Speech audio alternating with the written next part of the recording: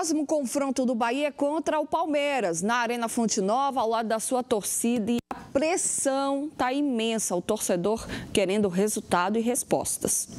Queda livre. Assim pode ser definido o segundo turno do Bahia. Nove derrotas nos últimos 12 jogos. O tricolor vive o pior momento na temporada e Rogério Ceni passou a ser contestado pela torcida, que até realizou protestos contra o treinador.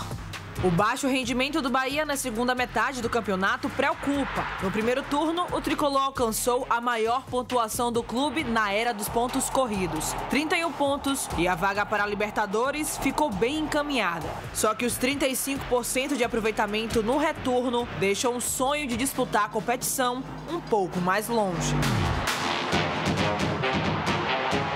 Rogério já até desistiu do G6 e afirmou que o campeonato do Bahia agora é outro. Nós temos que viver a realidade e jogar um campeonato que é o campeonato do Cruzeiro hoje, né, que toma a nossa posição por um ponto, que é esse campeonato de últimas cinco rodadas e nós temos que tentar liderar esse campeonato. Ainda restam cinco confrontos para o tricolor no campeonato. O próximo é uma pedreira, enfrenta o Palmeiras na Fonte Nova. Chance de redenção contra um adversário que briga pelo título. E trabalhar não tem outra maneira. E psicologicamente a gente tem que estar mais forte pro próximo jogo, porque é um adversário duríssimo, um adversário difícil. O sonho de disputar a Libertadores segue vivo, mas a mudança de comportamento tem que acontecer o quanto antes, porque a torcida está impaciente.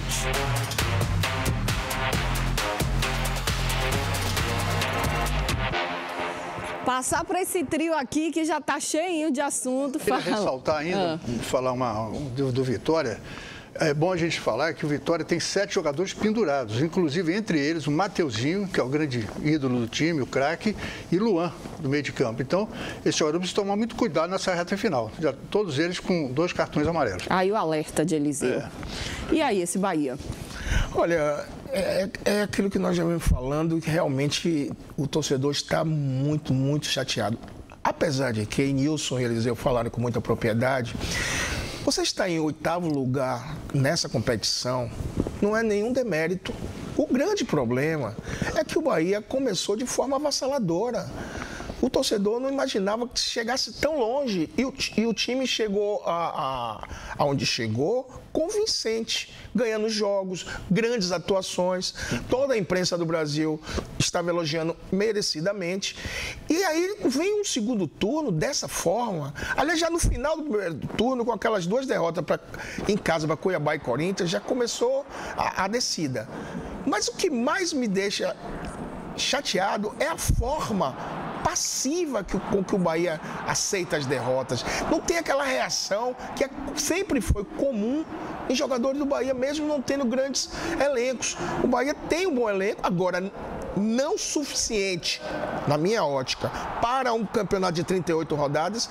Houve uma falha de planejamento na segunda janela, sim, trouxeram apenas o Borducci e o, e o Lúcio, que o Lúcio agora está se firmando e não, são, não eram nem titulares, precisava de mais jogadores, tá?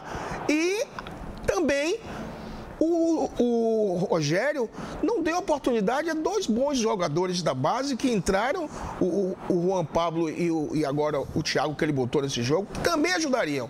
Mas o Bahia não tem um elenco recheado com grandes opções. Porém, não justifica as atuações do Bahia são decepcionantes. Em 12 jogos, 9 derrotas. Isso tem deixado realmente o torcedor muito chateado. Porque criou uma expectativa, lógico, o Bahia muito bem nas primeiras posições. Nunca se imaginava de, de haver um decréscimo tão grande e agora, nós, quando vemos a, a, entrevista de Rogério, você sente que ele está abatido e tentando ver qual a saída. Porque ele tentou, mexeu, ele foi teimoso, mudou, introduziu o Lúcio na equipe e tal, mas você não sente. E outra coisa, times que tomam gols nas circunstâncias que o Bahia toma, fica difícil para reagir. Ele próprio na entrevista disse: o primeiro gol que o Bahia tomou, a linha estava montada.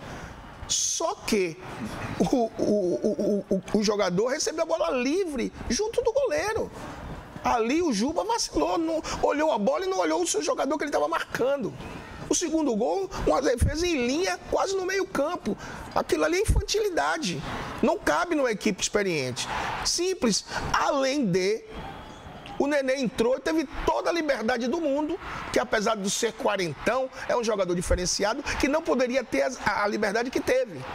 Então, todos esses ingredientes mostram que o Bahia está realmente com uma situação difícil, mas tem que buscar reversão. Ainda depende dele para chegar no objetivo que precisa alcançar. Agora, para isso, tem que ter uma mudança de atitude e o seu treinador conseguir achar a melhor equipe para tentar mudar essa situação que se encontra. Olha, quando o torcedor do Bahia é, viu que o, o, Grupo City comprou o clube início desse ano, criou-se uma expectativa do Bahia ganhar todas as competições. Ganhar o Campeonato Baiano, o Copa do Nordeste, chegar à semifinal de Copa do Brasil. E não está acontecendo nada disso. Claro que houve uma melhora técnica, Houve sim, o Bahia nunca teve bons jogadores em algumas posições como tem agora nesse ano, né? nunca teve um investimento tão volumoso como teve neste ano, mas criou-se a expectativa pelo, pelo, próprio desempenho do clube, como o Roberto acabou de falar. E isso gerou no torcedor a expectativa de uma, de uma campanha espetacular. E o Bahia vem fraquejando rodada a rodada. O Bahia precisa de ajustes.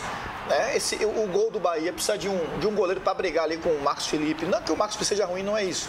Mas precisa ter uma sombra altura, tem que ter um goleiro top também para disputar a posição, tem que ter dois grandes bons goleiros, né? nada contra o Danilo nem o Adriel. Vai precisar de um 9 de referência, um jogador matador, como tem, alguns clubes têm, Bahia não tem.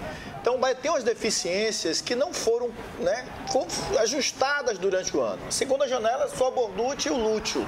Então o Bahia está pagando porque tem um elenco muito curto, não tem uma política hoje de jogador de base para você colocar os meninos para dar aquele retoque nos jogos, né, dar aquele clima de velocidade, aquele clima de diferente, não tem. E acho que no próximo ano, né, com, com, com, que se vai se investir, Juliana, que eu soube que o investimento será pesado novamente, né, eles vão para contratar, para melhorar o time.